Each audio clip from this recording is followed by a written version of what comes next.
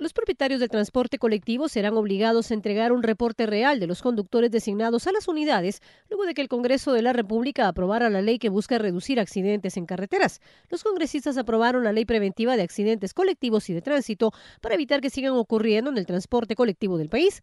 La normativa obliga a los propietarios a presentar una fotocopia de la licencia de conducir, del documento personal de identificación, la partida de nacimiento, una fotografía y constancia del lugar verídico de la casa del piloto.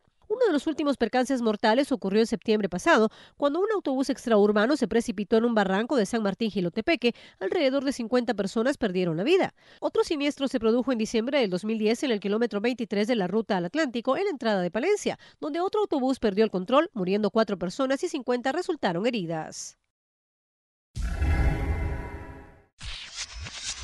Publinews, lo más importante de las noticias, un diario internacional de Metro y del grupo Emisoras Unidas, 50 años.